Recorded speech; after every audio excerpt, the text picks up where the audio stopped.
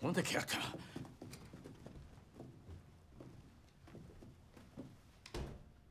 なんだじいさんたち。お前が西か。俺たちはよ一流会って組作って昔の島仕切らしてもらおうと思ってんだけどよ。うちはヤクザじゃねえんだからよ。あんたらが組作ろうがなんだろうが関係ねえだろ。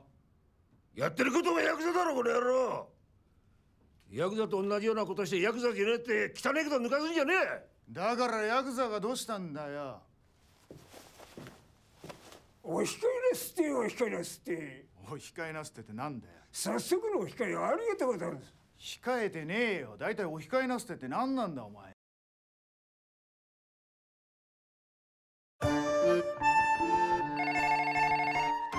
もしもしお父さん。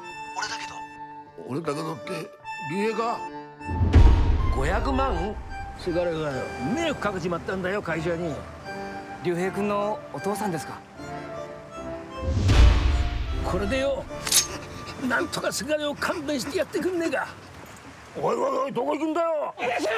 俺の目地潰すのか？てめえの入り詰めるぞこの野郎。義理も認知をもあらしねえやまったく買ってもらいたいものが一個あるんだよね。なんだジジイが俺らに喧嘩売んのか。てめえじじいに脅かされて逃げてきたってなんだよ。じじいに邪魔されたので。じじいどもみんなでいたんですよ。じじいが先もねえのに。ヤクザやってどうすんだよ。だったら何なんだガキ。じじい俺が親分だな。だって二人刺してるもん。バカ野郎!ダメだ。隠れられねえな。さよならあれ？どっか行っちゃったよ。ご承知だと思いますが早打ちのマックと申します。知らねえよ。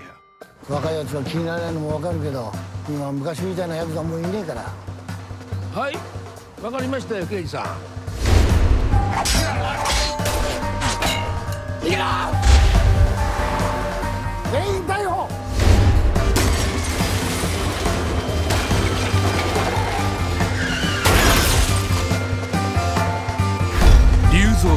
7人の子分たち。俺たち古いのかな？古くていいじゃねえか。